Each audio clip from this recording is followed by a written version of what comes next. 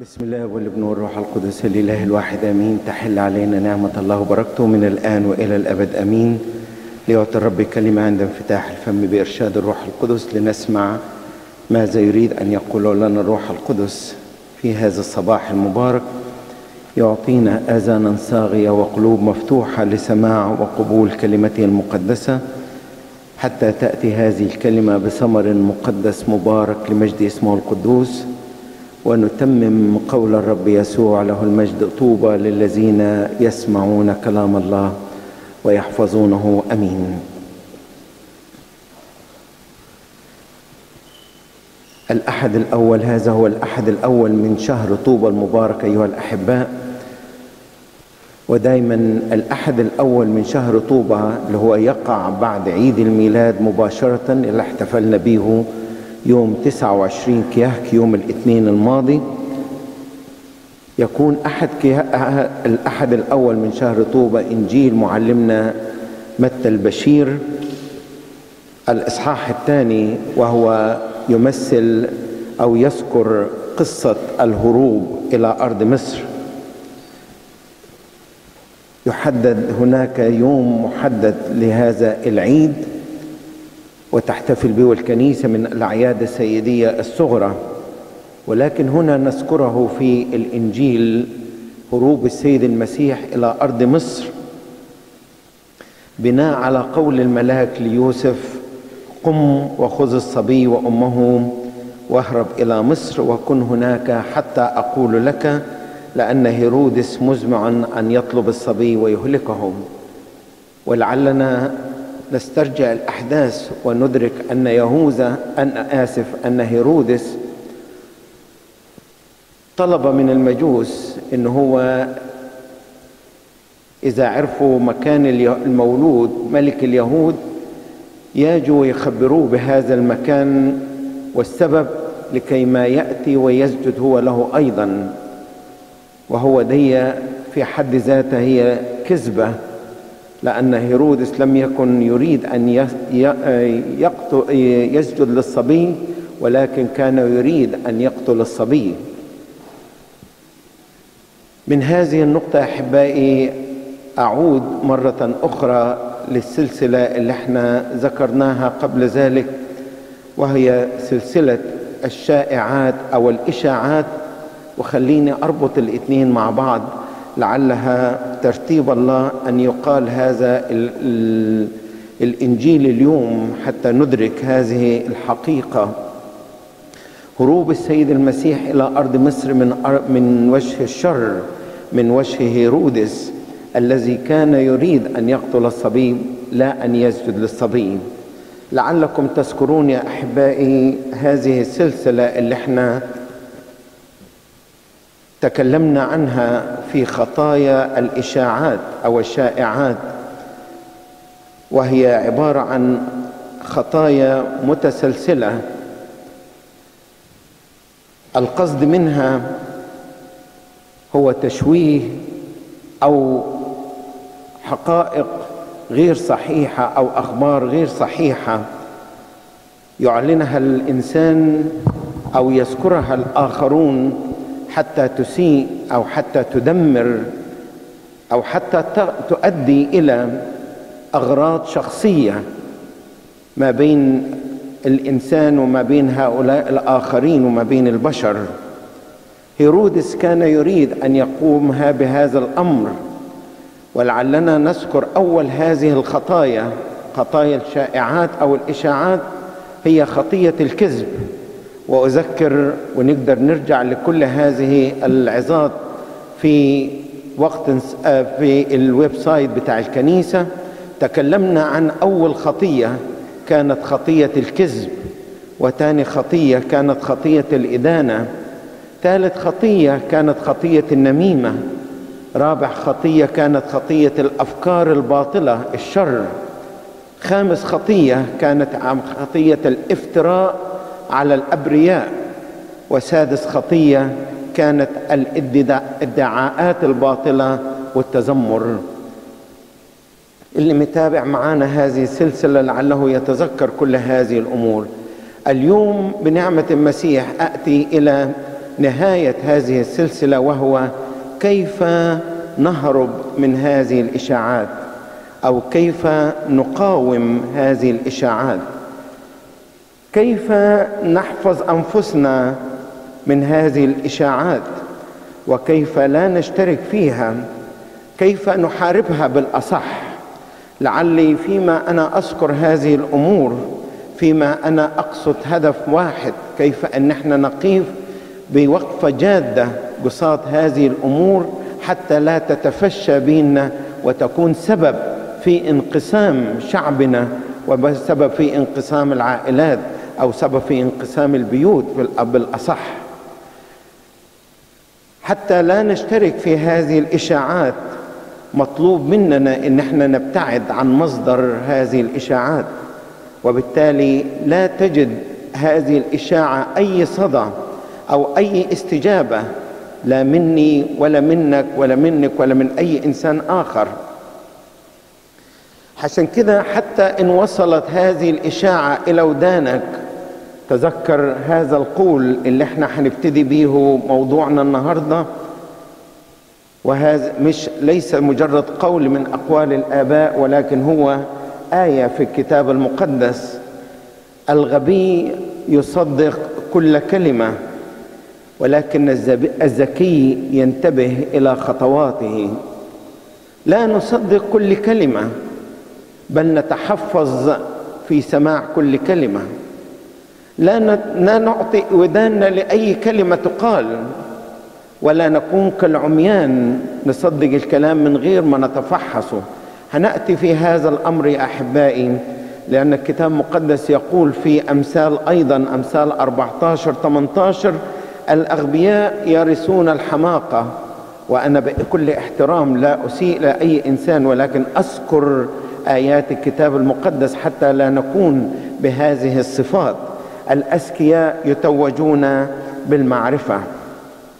القديس أغسطينوس في بداية هذه العظة أقول يقول إن وصلت هذه الإشاعة إلى أذنيك ارجع إلى نفسك وكن ديانا لنفسك في داخلك تطلع إلى مخدعك الخفي في أعماق قلبك حيث هناك تكون أنت وذاك الذي يراك في كل مكان أي الله وأنتما وحدكما. وحينئذ اللي انت بتسمعه سواء خطية سواء خبر سواء إساءة سواء تشويه سمعة آخرين حينئذ يكون الاسم هذا الأمر مكروها لديك وتكون أنت موضع سرورا لله. تعالوا نشوف مع بعض يا أحبائي كيف نستطيع أن ندرك أن نتغلب على هذا الأمر وعلى هذه الإشاعات وحتى نكون حكماء ولا نكون كالكتاب المقدس كما يقول الأغبياء؟ لا سمح الله. الحكيم هو الذي لا يصدق. المجوس عندما سمعوا من هيرودس امشي وكلم وتشوفوا امشوا وشوفوا أين هو المولود ملك اليهود حتى أنا آتي وأسجد له؟ لم يعطوا المجوس أي جواب ولم يستجيبوا لهذا الرد. لعل الحكمة اللي كان عايشين بيها ممكن تكون حكمة بشرية حكمة علمية ولكن بالإضافة إلى كل ذلك أخذوا حكمة سماوية.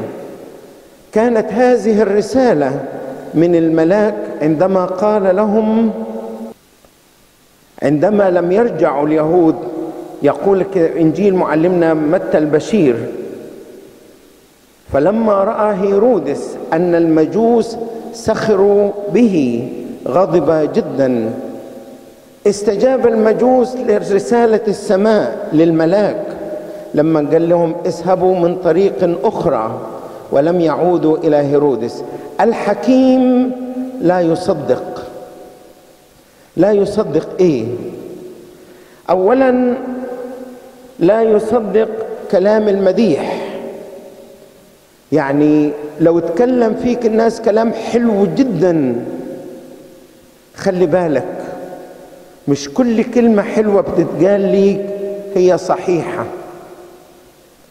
هتشككنا ليه يا أبونا؟ لا مش هشككك لكن خلي بالك لأنه لو محتاج الأمر حكمة. ياما في ناس ممكن وشك وشك تقابلك وت... و... و... وتضحك معاك وتهزر معاك وتناديك بأجمل الألفاظ وأجمل المدايح ومن وراك يطعنك في ظهرك ويقول عليك كلام كثير والتليفونات تشتغل والكلام يشتغل. فين ده؟ آه ما هو هو لسه خايف عليك. خايف عليك. هو بيتكلم معاك. بيحبك. بس للأسف بيحبك وبيشوه صورتك من الناحيه الثانية من ورا. الكتاب المقدس يقول لنا سيد المسيح في إنجيل معلمنا لوقا البشير أصحاح ستة وعدد ستة وعشرين. ويل لكم. ده كلام مين؟ المسيح له المجد. ويل لكم إذا انت صدقت كل كلمة مديح بتقال ليك. ويل لكم إذا قال فيكم جميع الناس حسنا لأنه هكذا كانوا أباءهم يفعلون بالأنبياء الكذبة. كانوا يعملوا إيه بالأنبياء الكذبة؟ كان يمدحوهم وكانوا يكرموهم وكانوا يدوهم مكانه وكان والنتيجة كان كله إيه؟ كله كلام كذب. ويل لكم إذا قال فيكم جميع الناس حسنا. كل الكلام الحلو. إذا قالوا فيك الناس كلام حلو أشكر الله إن دي من نعمة الله. بس خلي بالك برضه ما تديش الأمان أو تتغش في في داخلك أو تنخدع في داخلك وتقول يا ده بيقولوا عني كلام حلو. الحكيم لا يصدق. في معلمنا داود النبي في مزمور 69 من إنجيل من من مزامير باكر يقول كده وليرجع بالخزي سريعا القائلون لي نعما نعما وليبتهج ويفرح بك مين الذين يلتمسونك. ده معلمنا بولس الرسول يقول كده لأن المدح يكون من مين؟ الذي يمدح فيمدح نفسه ده, ده باطل. ولكن المدح يكون مين؟ المدح يكون من الله. عشان كده الإنسان المديح الذي يقبل المديح هو إنسان مخدوع. الحكيم لا يصدق كلام المدح في أمثال 27 وعدد اثنين.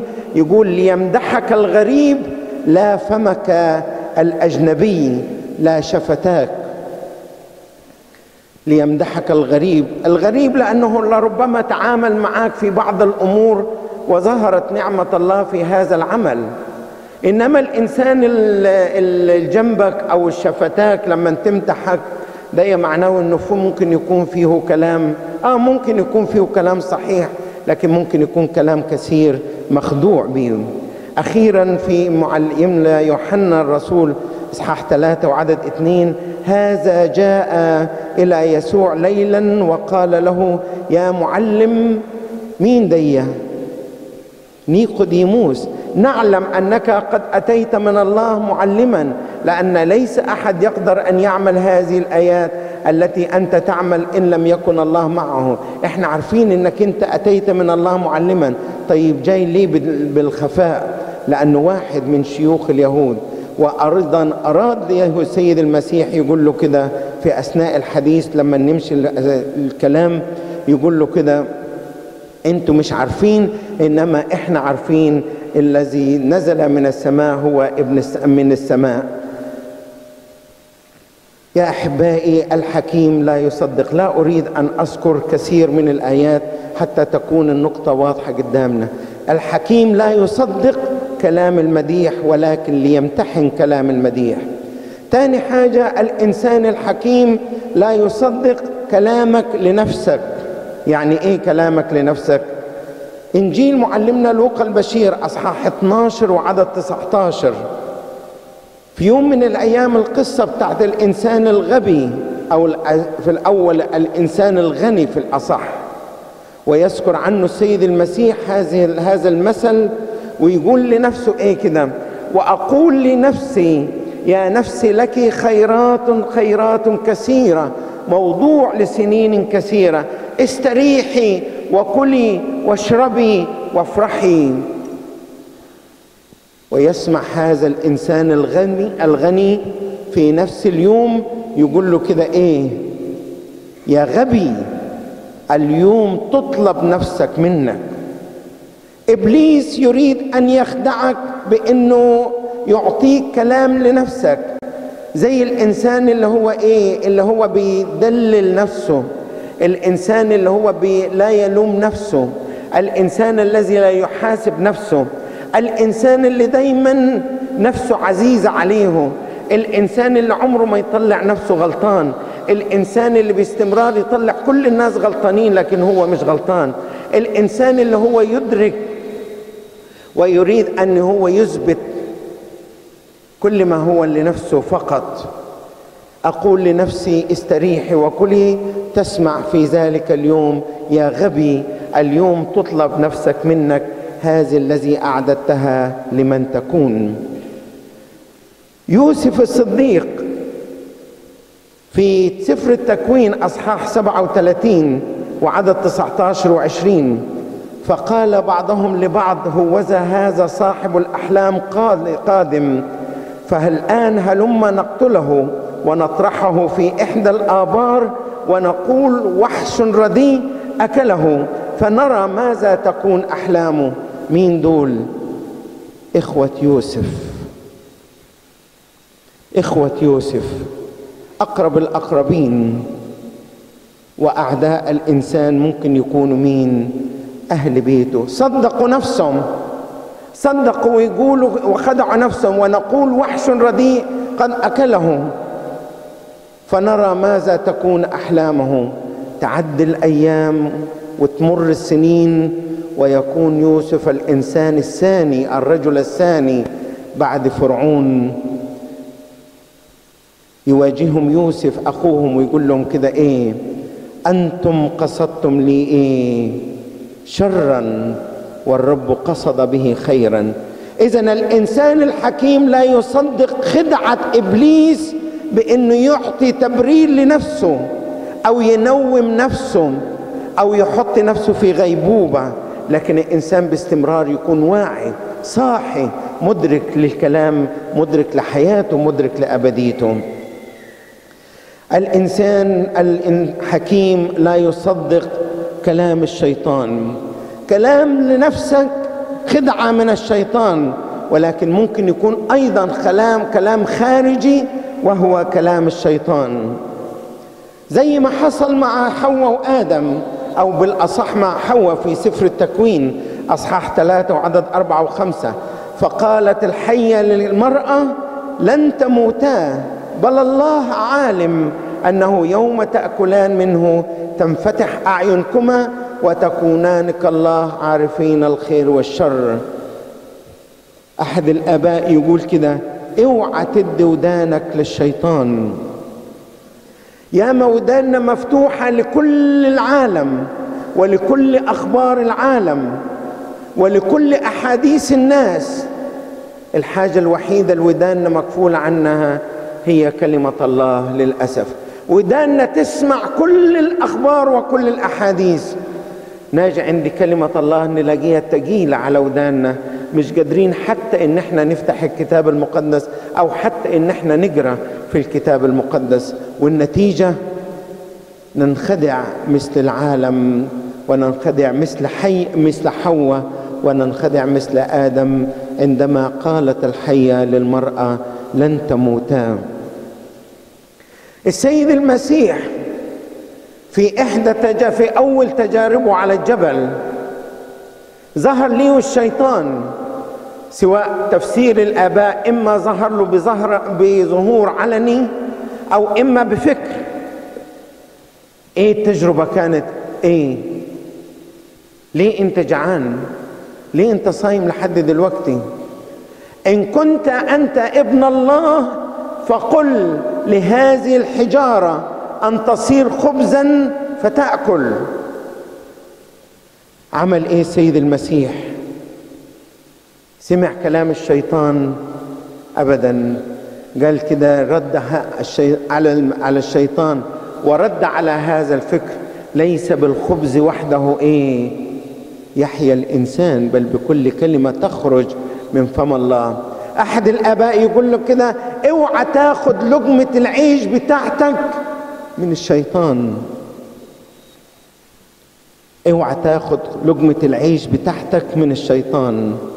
يعني اشتغل وجاهد واتعب بس أوعى تفتكر إن الشغل ولا ولا العمل ولا الفلوس هي اللي هتضمن لك حياتك الأبدية. الشيطان بيخدعك. ويقول لك كده إيه؟ ما أنت لازم تعمل للمستقبل ما أنت لازم تعمل لعيالك ما أنت لازم تعمل ما إحنا ما إحنا مش عارفين الظروف ما احتمال يرجعونا بلادنا ما ياما ناس رجعوهم. أنا أعمل حاجة لنفسي ولعيالي وأبني وأبني وأشتري وأعمل. والشيطان يخدعك وتاكل لقمة العيش من مين؟ من يد الشيطان. قل له كده ليس بالخبز وحده يحيا الإنسان. إن كان لنا قوت وكسوة نعمل إيه؟ نكتفي بهما. أتعب واجهو كل حاجة بس اوعى تهمل حياتك وخلاص نفسك. يهوذا يهوذا في انتقاده للمرأة اللي سكبت الطيب على قدمي السيد المسيح أو على رأس السيد المسيح. يهوذا يخدع نفسه يهوذا يحاول أن يخدع الآخرين. لماذا هذا الإتلاف؟ كان يمكن أن يباع هذا الطيب بأكثر من 300 دينار. والنتيجة الهدف بتاعي حلو ويعطى للفقراء. ويكشف معلمنا يوحنا الرسول. ويقول كده لم يكن يبالي بالفقراء لأنه كان إيه؟ كان سارقا وكان الصندوق معه. شوف شوف الشيطان يخدع الإنسان إزاي؟ زي ما خدع آدم وحواء خدع حية قال له ما تخافيش مش هتموتوا هتصيروا مثل الله يهوذا. ليه التبذير دي؟ ده ما ممكن يعطى للفقراء. والنتيجة ينخدع الإنسان ويقول السيد المسيح ويمدح هذه المرأة. ويقول كده أنها عملت بي عملا حسنا. مثل آخر أو آية أخرى لأنه مهم هذا الأمر. في إنجيل معلمنا متى البشير أصحاح 16 لما السيد المسيح جاء قال للتلاميذ بصالهم كده في آخر الأيام قال لهم كده وكلكم الجميع ينكرونني حتى أنتم حتنكروني. يقول كده الكتاب المقدس فأخذه بطرس إليه وابتدأ ينتهره. بطرس ينتهر المسيح. أصله كان مندفع نقول عليه كان يعني كان غضوب أو كان مندفع كان متسرع. ده معلمك ده سيدك. لم يكن لم تكن بعد نعمة الروح القدس حلت عليه. لكن ابتدى ينتهره يعني اتكلم كده بصوت يعني بيزعج يا حاشاك يا رب لا يكون لك هذا. فالتفت المسيح وقال لبطرس اسهب عني يا شيطان أنت معصرة لي لأنك لا تهتم بمال الله لكنك تهتم بمال الناس أنا عايز آخد الآية دي واللي تخلينا تكشف لينا كلام الشيطان. كلام الشيطان يقودك إنك أنت تعمل ما يغضب الله وما لا يرضي الله من أجل أن ترضي الناس. لكن كلام الله يقول عنه معلمنا بولس الرسول إن كنت أرضي الناس فلست عبدا للمسيح. إن كنت أرضي الناس فلست بعد عبدا للمسيح. إذا كلام الله يقودك إلى خلاص نفسك ويقودك إلى خلاص الآخرين ويقودك إلى الأبدية. حتى وإن كان في حد ذاته ممكن الناس تزعل منك ممكن الناس تحاربك. ممكن الناس تقاومك. يقول عنهم الكتاب المقدس كانوا يخرجون فرحين لأنهم حسبوا أن يهانوا من أجل اسمه بطرس الرسول يجوف يجيف ويقول كده لا نقدر إلا أن نتكلم بهذا الاسم اسم يسوع. لكن اللي يحب ان هو يطبطب على الناس أو عشان الناس ترضي ترضى عنه أو عشان ياخد رضا الناس. لا مش كل حاجة لرضا الناس. رضا المسيح اولا. مش معنى كده هنزعل الناس ولا هنقاوم الناس. لا برضه في حكمة. الحكيم هو الذي يصدق كلام الله ولا يصدق كلام الشيطان. الحكيم هو الذي يتمم كلام الله ولا يتمم كلام الشيطان. يبقى الحكيم لا يصدق أول حاجة لا يصدق كلام المديح لا يصدق كلام نفسه لا يصدق كلام الشيطان لا يصدق أي تعليم غريب من الخارج. في تسالونيك الأولى اثنين خمسة فإننا لم نكن قط في كلام تملق كما تعلمون ولا في علة طمع. الله شاهد. وعلمنا بولس الرسول بيقول لهم كده لأهل تسالونيك عمرنا ما تكلمنا معاكم كلام كده فيه آه تملق. يعني رياء منافق. لا. ولا كلام من أجل طمع ولا عشان أنا عايز اخد حاجة لنفسي. الله شاهد أن كلامنا لم يكن فيه أي كلام تملق ولا مصلحة شخصية. ولا طمع لفلوس ولا مال ولا أي شيء ولا مراكز ولا أي شيء. إنما هدفنا كله إيه؟ نائلين غاية إيمانكم. خلاص النفوس. ياما في ناس دلوقتي بتسمع لكلام غريب. في أفسس 4 14 يقول كده كي لا نكون فيما بعد اطفالا مضطربين ومحمولين بكل ريح تعليم بحيلة الناس بمكر إلى مكيدة الضلال. ياما في ناس الشيطان دلوقتي بيخدعهم أو الآخرين بيخدعوهم.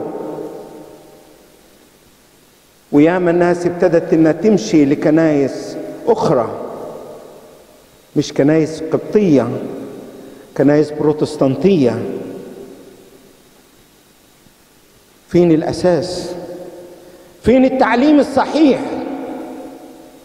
لا أدين كل إنسان بضميره أمام الله ولكن علينا أن نوجه علينا أن ندرك علينا أن إحنا نوعى غير محمولين بكل ريح تعليم بحيلة الناس بمكر إلى مكيد الضلال. وأي كلمة تتقال نصدقها وتعالوا معانا.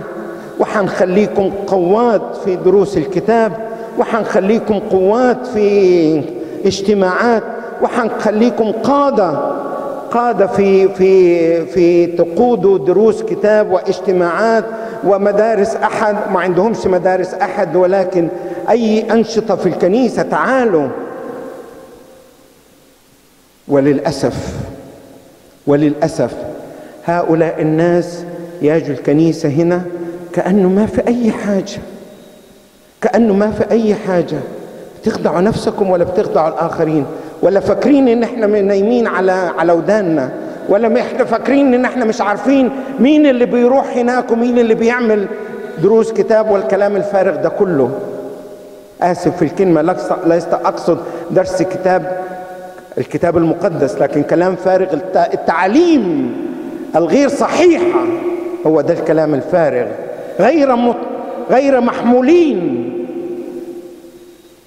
بأي تعليم أي تعليم غريب بس الحكيم لا يصدق إنما الغبي للأسف هو اللي يصدق كل كلمة عشان بيديهم حوافز عشان بيديهم كلام حلو عشان بيطبطبوا عليهم عشان عشان عشان عشان عشان لقوا أنفسهم في هذه الأماكن وهم لا يملكون أي شيء. وهم لا يملكون أي شيء. مش فلوس لا يملكون أي فهم ولا لا يملكون أي دراية بالكتاب المقدس. إنما تعالوا هنخليكم قادة للكتاب المقدس. يا خسارة يا خسارة. أو هل وصل الأمر بهذا الإنسان إنه أي تعليم كده يمشي وراهم. احترزوا من الأنبياء الكذبة الذين يأتونكم بثياب الحملان ولكن من داخل ذئاب خاطفة. هم عايزين يملوا كنايسهم. وماذا بعد ذلك أحبائي؟ كل دي تجارب السيد المسيح. الحكيم لا يصدق لا يصدق كلام المديح لا يصدق كلام نفسه لا يصدق كلام الشيطان ولا يصدق أي تعليم غريب. تقول لي يا أبونا بس في آية بتقول المحبة تصدق كل شيء. أنت ليه عايز تكرهنا من الناس يا أبونا؟ أنت ليه عايز تشككنا من الناس؟ أنت ليه عايز تخلي كل كلمة إن إحنا ناخد تاخد وتدينا؟ فين المحبة؟ فين المحبة؟ قال مش البروتستانت عندنا معاهم محبة ولكن لا نشترك في تعليم واحد. مجاملات في الأعياد في المناسبات ممكن بنمشي وبيجونا.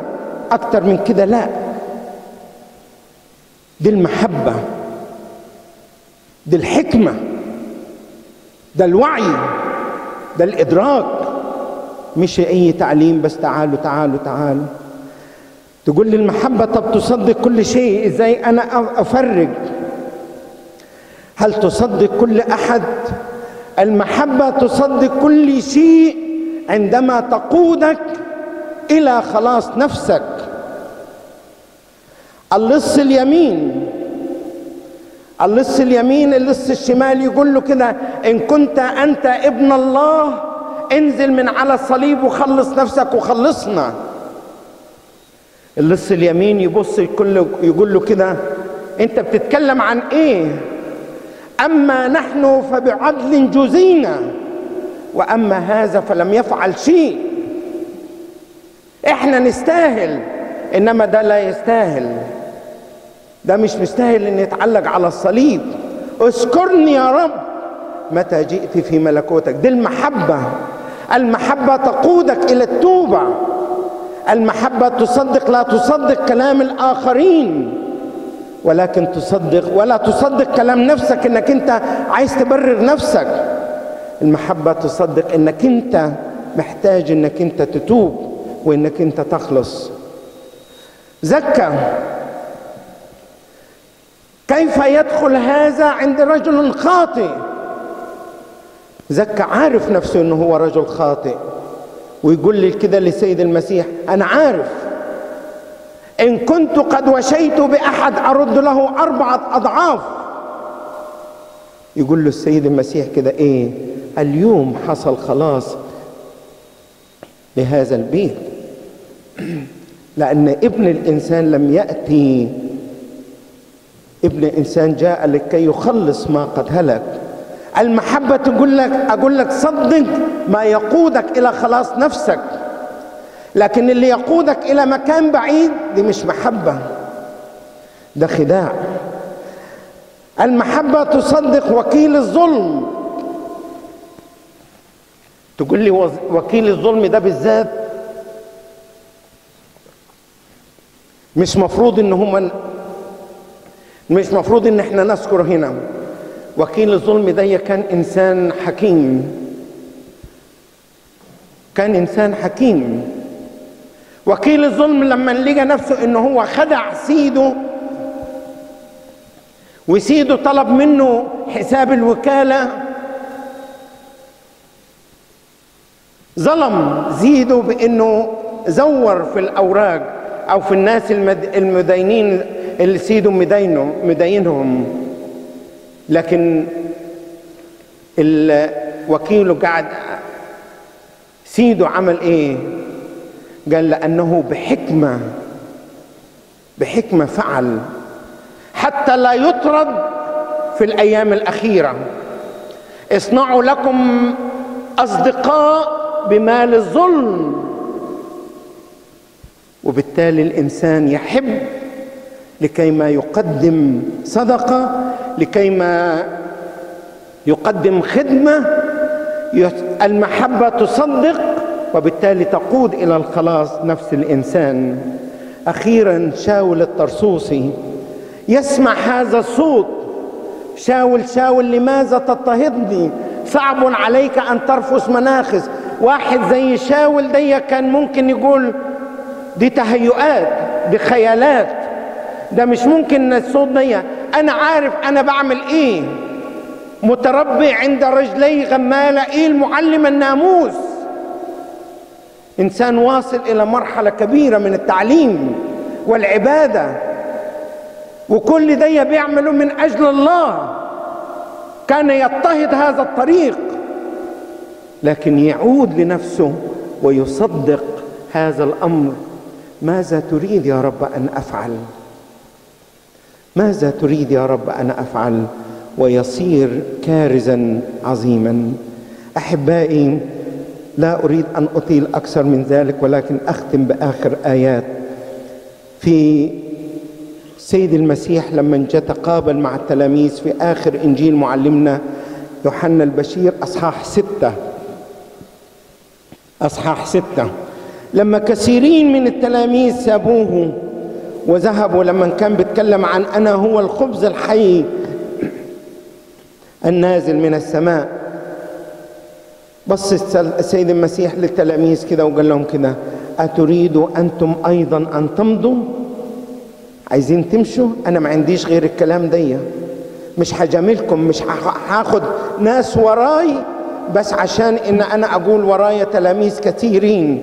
وأضيع الحقيقة بتاعت أنا هو الخبز الحي النازل من السماء. بطرس الرسول يصدق هذا الكلام ويقول له كده يا رب إلى من نذهب وكلام الحياة الأبدية هو عندك. أترك هذا الأمر وهو الحكمة يا أحبائي. الحكمة هي في حكمة الاجتماع في حكمة الخلاص بكثرة المشيرين والاخيرا حكمة في التروي والحكمة في الوقت.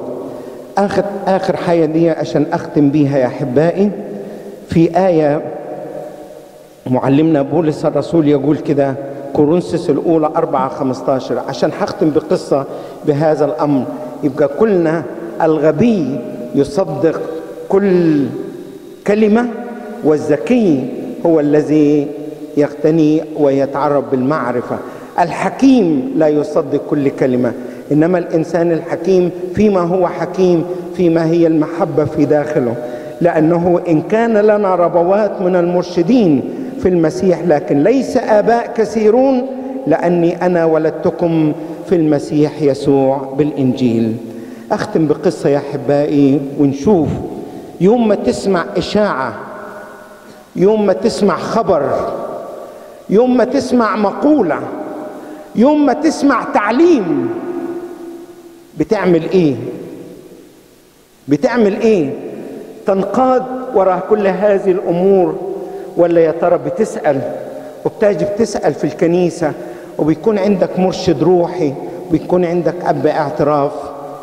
هو ده اللي إحنا بنرجوه إن الكنيسة أم الكنيسة أم ترعى اولادها وتعلم اولادها اوعى تفتكروا الهدف من العظات دي هو ان إحنا نقول كلام.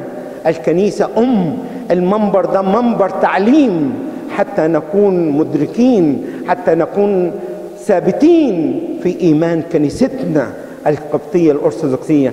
حتى لا تقودنا أي ريح بتاع تعاليم غريبة وشيطانية ولكن يقودنا مرشدين من داخل الكنيسة. أحد شيوخ الرهبان وحالته إنه هو شيخ يعني كبير في السن مشى إلى القديس يوحنا القصير وطلب يطلب منه كلمة منفعة. عارفين القديس يوحنا القصير اللي هو كان سبب في خلاص أو إنقاذ القديسه بائسه من وكر الخطية ومن بيت الخطية. قديس يوحنا القصير كان أب في لمجموعه من الأباء الرهبان. ذهب لي وهذا الشيخ وقال له يا أبي اديني كلمة منفعة. إزاي إن أنا أحارب الأفكار الغريبة؟ إزاي إن أنا أحتفظ بأفكار مقدسة؟ إزاي إن أنا أحتفظ بنفسي؟ إزاي إن أنا لا أتجاوب مع أي فكر غريب من الخارج؟ قام القديس يوحنا القصير أداه التدريب. هو وماشي في السكة وراجع للجلايه بتاعته نسى التدريب نسى الإرشاد اللي أداه له القديس يوحنا القصير. بعد فترة بعد فترة رجع للقديس يوحنا هذا الشيخ نفسه الراهب. قال له يا أبويا سامحني لأني أنا نسيت الإرشاد اللي أنت أديته لي المرة اللي فاتت. قال له ما فيش مشكلة. ده الإرشاد وإرجع وإعمل بيهم. رجع هذا الشيخ وللأسف كان كثير النسيان. لما رجع لحد الجلايه بتاعته نسى الإرشاد. تكرر معاه المر... الأمر ده كذا مرة. اتكسف. اتكسف إنه يرجع للقديس يوحنا القصير مرة ثانية وقال وفي يوم من الأيام تقابل معاه القديس يوحنا القصير. قال له إزيك يا أبي؟ فقال له كويس. قال له عامل إيه في الإرشاد اللي أنا اديته لك؟ قال له سامحني يا أبونا أنا للأسف إنسان كثير النسيان. كل ما بتديني الإرشاد يا دوب أوصل الجلايه بتاعتي ألاقي نفسي نسيت في الإرشاد. في الآخر أنا اتكسفت إن أنا أجيك. شوفوا القديس يوحنا القصير يديله هذه الرسالة اللي هي محور هذه القصة. يقول له كده جيب فانوس مولع يعني والع مصباح امشي جيب فانوس. مشى الشيخ ده وجاب فانوس ولع. قال له أخذ الفانوس ده المطفي ده وولع ولعه من الفانوس المولع ده. ولعه. قال له خد فانوس ثاني ولعه من الأول. ولع عشرة فوانيس كده جنب بعض. قال له يا ترى الفانوس الأول حصل له حاجة؟ قال له لا. قال له انطفى؟ قال له لا. قال له راحت الاستناره بتاعته؟ قال له لا. قال له كده هكذا أنا يا أبي وأنا لا أتعب. أو أنزعج. حتى إذا جاء إلي كل الرهبان شوفوا الكلمة الجاية دي فقوة الله العاملة في لا تنتهي. قوة الله العاملة في لا تنتهي. صاحب هذه القصة كاتب هذه القصة يقول كده لا تحزن من أجل كثره سقطاتك واعترافك بنفس الخطية أمام أب اعترافك مرات كثيرة. فالله لا ييأس منك ولا تقل محبة أبيك الروحي أبي أب اعترافك ليك. وإن كنت تعاني من أي خطية مهما كانت صغيرة فافضحها في سر الاعتراف ولا تستهين بها أو تظن أن الكاهن يستهين بها حتى ولو كانت صغيرة. الدرس الثاني أو الرسالة الثانية. سابر جاهد في جهادك وعالم أن الله يقدر كل تعب تقدمه له وسيسندك في جهادك لتكون مقاوم دائما ضد الخطية حتى الدم. كما قدم هو دمه لأجل فدائك على الصليب. ارفض الخطية الصغيرة فتستطيع أن تصد الخطية الكبيرة وفي النهاية يكلل تعبك بالنجاح وتنال اكليلا أكبر بقدر طاعتك لأب اعترافك. تنال اكليلا أكبر قدر طاعتك لأب اعترافك وفتحك للخطية وتمسكك بالمسيح. بهذا القصة يا أحبائي نختم هذه السلسلة. ولعلنا ندرك ماذا نجتن ماذا نجني من الإشاعات والشائعات لن نجني إلا كل هذه الخطايا اللي ذكرتها في بداية العظة.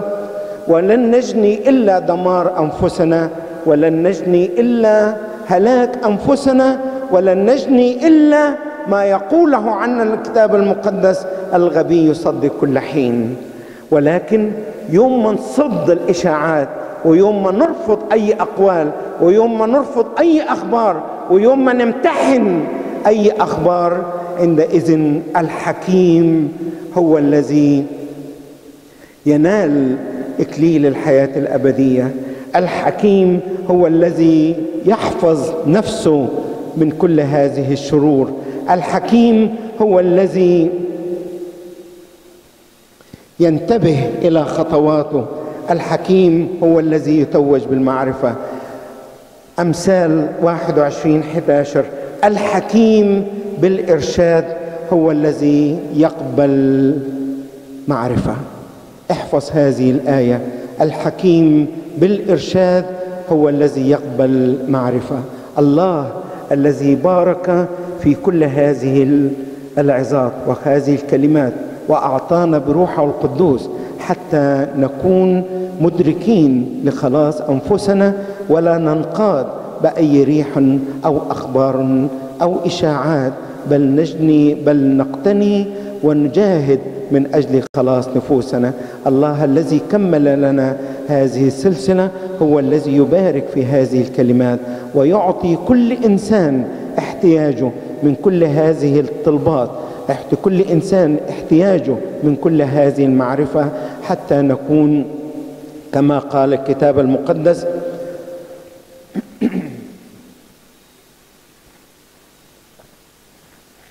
حتى لا نكون كما قال الكتاب المقدس هلك شعبي بسبب عدم المعرفة بل نكون مدركين منقادين بالروح القدس. إلى خلاص أنفسنا له كل المجد والإكرام والسجود من الآن وإلى الأبد. آمين.